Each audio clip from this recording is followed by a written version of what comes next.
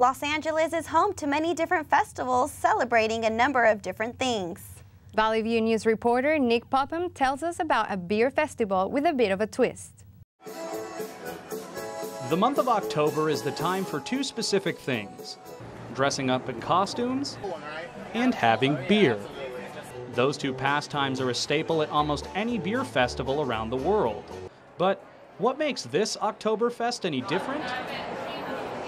All right, the beer is perfect. Declare Vegan Oktoberfest officially open. Please raise your glasses and join me on the count of That's three. right, One, it's vegan. two.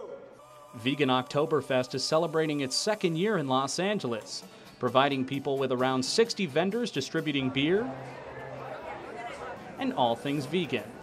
From vegan cheese to pretzels to even, yes, you're seeing that right, faux bacon covered donuts. A festival like this has gotten many people in the LA area excited for its return. I had so much fun last year, met so many cool people, and the energy, I just had to come back. I was like, it's an excuse to come back, have a good time. It's really interesting to be able to come to an alternative Oktoberfest and see that there are alternatives to what you would normally be drinking or eating. Everyone is so happy. There's so much positive energy all around you. I mean, you go to any of these booths, everyone's very open and just excited to see you and welcoming. Vegan Oktoberfest has been a success thus far, many people giving positive reviews of the day. Though some people have come up and said that they aren't quite sure if everything here is actually vegan. right away we saw Shipyard Brewery was here, and uh, we've come across because we are very strict vegans, and their processes are not vegan. It's it's vegan Oktoberfest. So it's if if there's a, a star with some fine print that says not everything here will be vegan, then maybe I missed it. But if you tell me it's vegan Oktoberfest, one would assume it's a vegan Oktoberfest.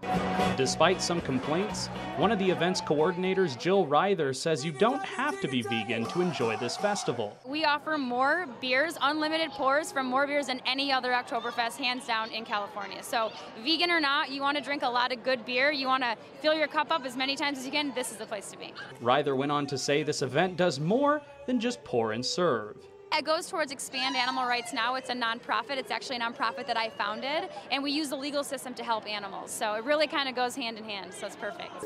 So whether it's dancing the polka or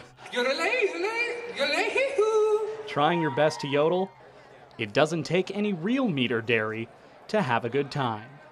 In downtown Los Angeles, Nick Popham, Valley View News.